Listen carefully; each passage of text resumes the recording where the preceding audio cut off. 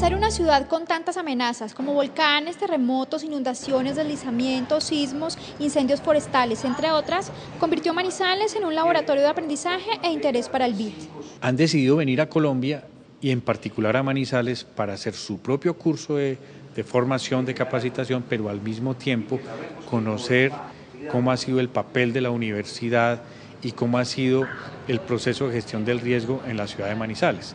¿Por qué? Porque Aquí como ha habido problemas y dificultades, también hay casos ejemplares, realmente situaciones que desde hace más de 20 años se han venido trabajando en Manizales y la universidad juega un papel muy importante porque es como el alma técnica que tiene la ciudad en estas temáticas de gestión del riesgo. Los funcionarios de esta institución son economistas que efectúan los préstamos de los créditos en todos los países.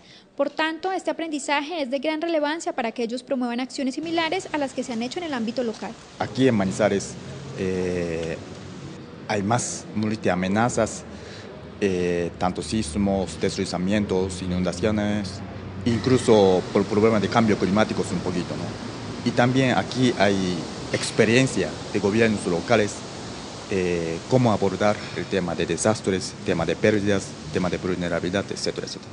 Por eso nosotros pensamos que aquí es el mejor lugar para hacer y para conocer lo que está haciendo a nivel local y lo que está abordando temas de gestión de riesgo de desastres.